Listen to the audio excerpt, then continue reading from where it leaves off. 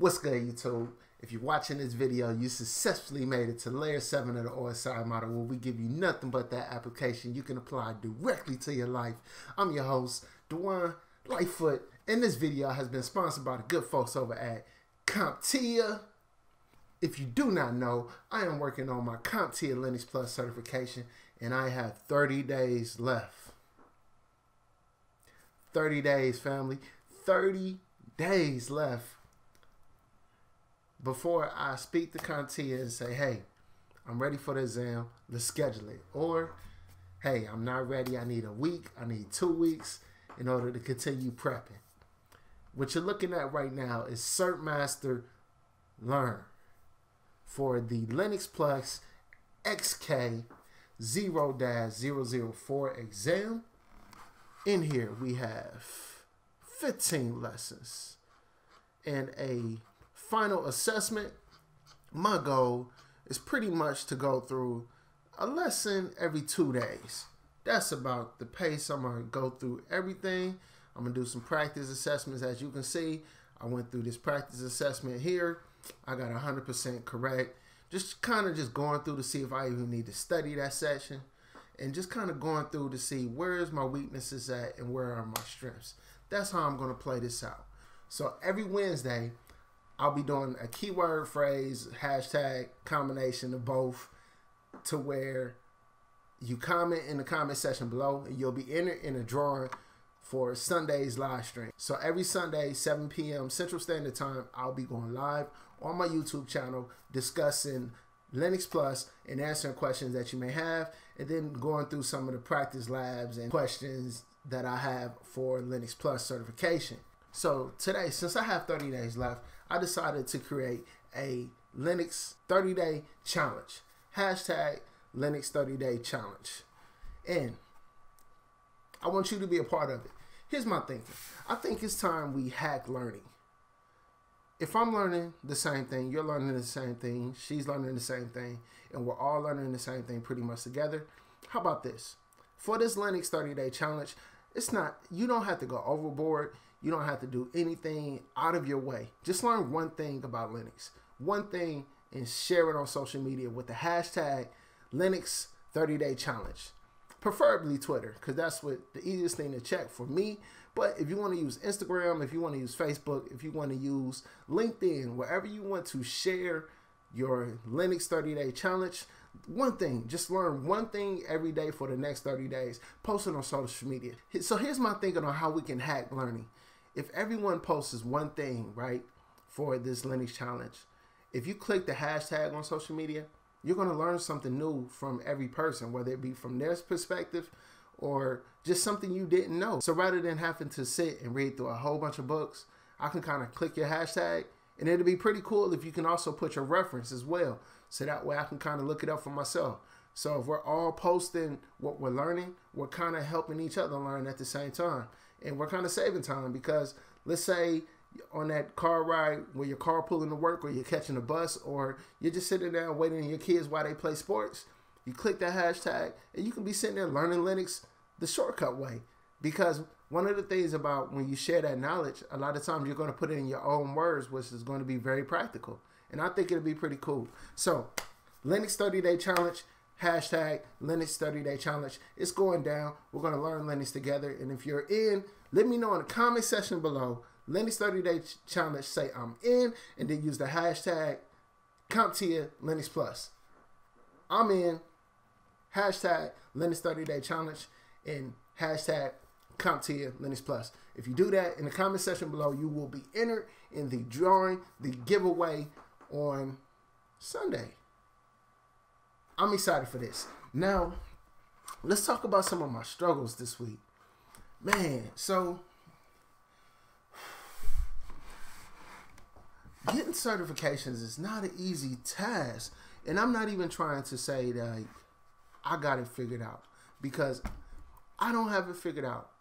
Um, I tell you from my experience, my firsthand experience, but my life has very like some dynamics that I've never dealt with before.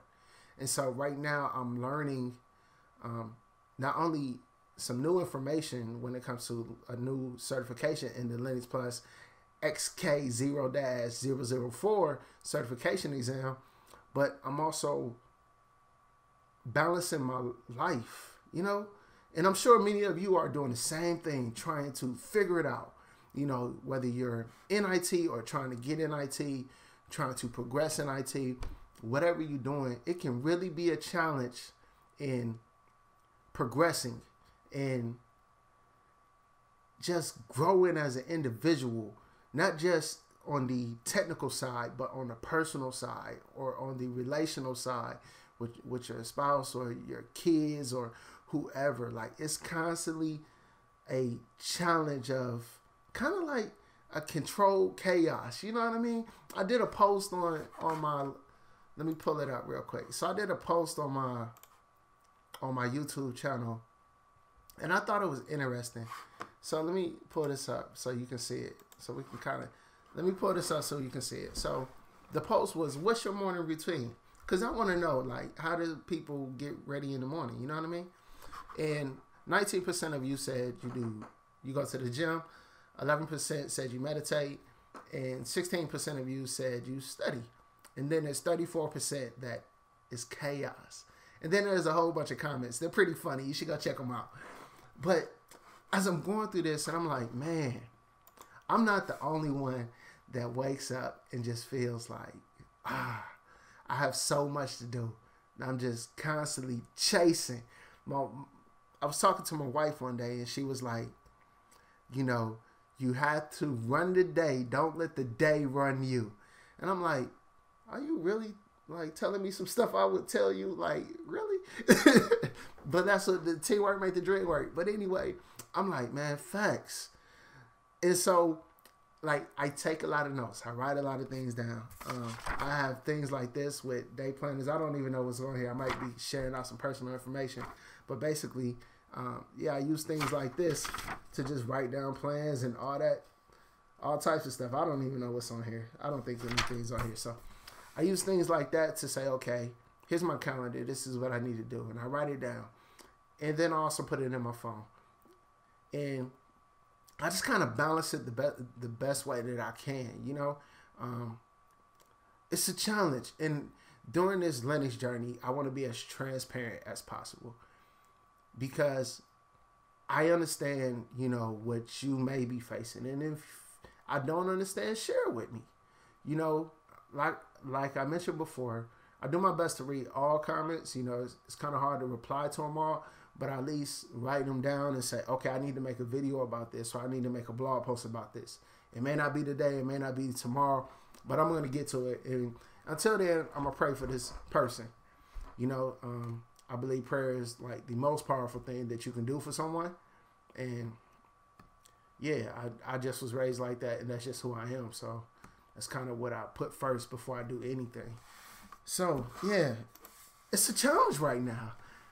It's a real challenge trying to balance getting this certification. Um, the thing about like my last certification, well, so my last certification was the Azure AZ, what is it, 900 exam. So that's the fundamentals of Azure. And when I took that exam, I went through a boot camp for like one day. It was a one day class or whatever. And then I studied on my own. I kind of labbed it up. It wasn't too in depth. So I didn't really have to go knee deep into the certification to learn. You know, just get a real foundational level understanding, take the certification, pass it, and I got a new cert. That's what it was. But my certification before that, which was the network programmability cert, I really had to get knee deep into that information. Um, even though you know I'm, I'm, doing automation, I'm I'm understanding Python, I'm learning Python, I'm implementing automation, I'm doing DevOps, I'm I'm pushing code to the Git repository, I'm doing all these things that aligns with this certification, but it's still deeper than what I actually do. So I really had to get knee deep into that. And so Linux is kind of like the same thing, but the difference about Linux is like I don't have to use Linux.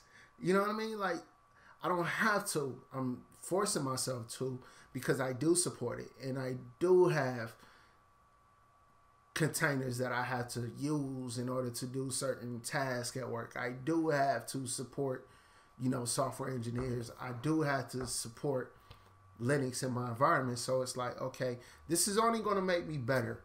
So rather than having to be forced to do it, let me take the initiative and learn it on my own. And then let me start a 30 day challenge to bring everyone with me. So that's where we're at.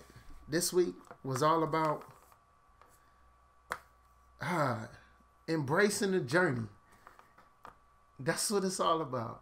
Taking it one day at a time and realizing, you know what? Even though it's a struggle, even though I wake up to chaos every day, I'm thankful and I'm growing and I'm doing the best that I can to get to where I want to be. And I'm not in this alone. And I know that I'm further than I was yesterday. And even if I have some setbacks, my get back's gonna be even better. Let's go. Shout out to CompTIA. Shout out to you. Lab every day. We're in the building. Happy hump day. I'll catch y'all on the next one. Peace.